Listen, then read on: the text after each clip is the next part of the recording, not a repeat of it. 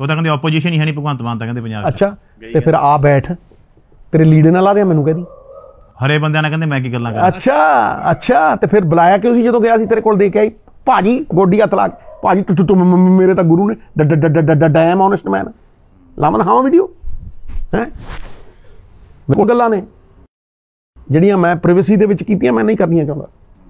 ਮੇਰੇ ਨਾਲ ਬੜੀ ਦੇਰ ਕੱਟੀ ਹੈ ਨੇ ਇਹ ਨਹੀਂ ਆ ਇੱਜ਼ਤ ਨਹੀਂ।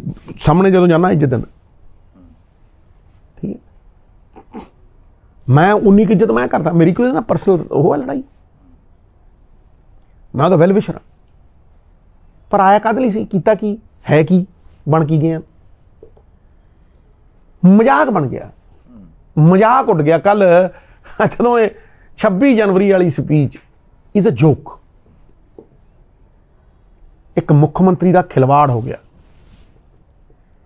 ਲੋਕੀ ਕਹਿੰਦੇ ਆ ਆ- ਆ ਆ ਲਿਆਂਦਾ ਸੀ। ਇਹਦਾ ਇਲਾਜ ਹੈ ਮਿੱਤਰਾ, ਕਿਰਦਾਰ ਦੇਖੋ। ਇਹ ਬਦਲ ਮੁੱਖ ਮੰਤਰੀ ਸਕਦਾ ਹੈ। ਯਾਦ ਰੱਖੀ ਮੇਰੀ ਗੱਲ, ਕਿਉਂਕਿ ਐਬਸੋਲੂਟ ਪਾਵਰ ਹੈ। ਡੀਸੈਂਟਰਲਾਈਜ਼ ਨਹੀਂ ਹੋਈ ਪਾਵਰ ਪਾਵਰ ਸੈਂਟਰਲਾਈਜ਼ ਹੋ ਗਈ। 50 ਬੰਦੇ ਧੰਦਾ ਕਰਦੇ ਆ। At the cost of 3 crore Punjabi.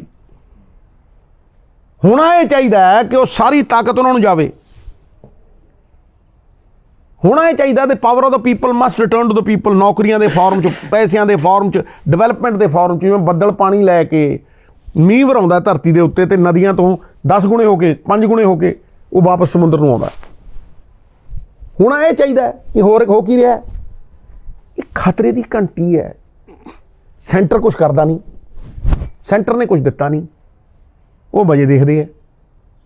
ਵੱਡ ਵੱਡ ਕੇ ਟੋਟੇ ਕਰ ਕਰਕੇ ਅੱਜ 18% ਰਾਜ ਰਹਿ ਗਿਆ ਮਹਾਰਾਜਾ ਦੀ ਸਿੰਘ ਦਾ। ਟ੍ਰੇਡ ਸਾਡਾ ਬੰਦ, ਖੇਤੀ ਦੀ ਪ੍ਰੋਡਕਟਿਵਿਟੀ ਦੀ ਇੱਕ ਪਾਲਿਸੀ ਨਹੀਂ। ਮੈਂ ਇੱਕ ਬਹੁਤ ਵੱਡੇ leader ਸੀ ਮੈਂ ਅੱਜ ਵੀ ਸਤਿਕਾਰ ਕਰਦਾ ਉਹਨਾਂ ਦਾ ਉਹ ਮੈਂ ਕਿਹਾ, ਮਹਾਰਾਜ, ਇਹ ਤਿੰਨ ਖੇਤੀ ਕਾਨੂੰਨ ਵਾਪਸ ਵੀ ਲੈ ਲਏ, ਵੱਡੀ ਉਪਲਬਧੀ ਹੈ, ਪਰ ਇਹਦੇ ਨਾਲ ਕਿਸਾਨਾਂ ਦੀ ਜ਼ਿੰਦਗੀ ਕਿਵੇਂ ਸੁਧਰ ਜੂ? ਤੁਹਾਡੀ ਇਨਕਮ ਕਿਵੇਂ ਵੱਧ ਜੂ?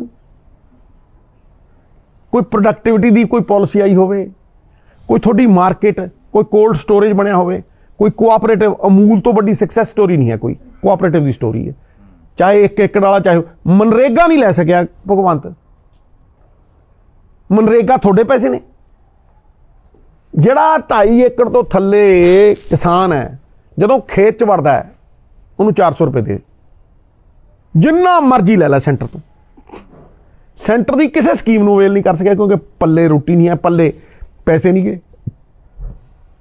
ਤੁਰਨ ਦੀ ਤਾਕਤ ਨਹੀਂ, ਨਾ ਮਜ਼ਬੂਤ ਖਾਂ, ਪੱਲੇ ਫੁੱਟੀ ਕੌੜੀ ਨਹੀਂ, ਨਾਮ ਕਰੋੜੀ ਮੱਲ। ਮੁੱਕਰ 90 ਕਰੋੜ ਨਹੀਂ ਲੈਂਦੇ ਤੁਸੀਂ। ਸੋ ਬੇਟਾ, ਇਹ ਸਟੈਂਡਿੰਗ ਆਰਡਰ ਇੱਕ ਇਸ਼ੂ ਹੋ ਗਿਆ। ਮੁੱਖ ਮੰਤਰੀ ਸਟੈਂਡਿੰਗ ਆਰਡਰ ਇਸ਼ੂ ਕਰ ਦਿੰਦਾ ਵੀ ਹਰੇਕ ਫਾਈਲ ਮੇਰੇ ਕੋਲ ਆਏਗੀ। ਉਹ ਜਿੰਨੇ ਮੰਤਰੀ ਮੰਤਰੀ ਨੇ, ਉਹਨਾਂ ਨੂੰ ਨਚਾਉਂਦਾ ਹੈ ਕਟਪੁਤਲੀ ਵਾਂਗ। ਕਿਸੇ ਮੰਤਰੀ ਦੀ ਨਾ ਚ ਹਿੰਮਤ ਹੈ, ਸਿੱਧੂ ਚ ਸੀ। ਕੈਪਟਨ ਲਾਇਆ। ਜਦੋਂ ਕੈਪਟਨ ਲਾਇਆ ਸੀ ਵੇਵ ਸੀ ਕਾਂਗਰਸ ਦੀ। ਫਿਰ ਕੀ ਹੋਇਆ?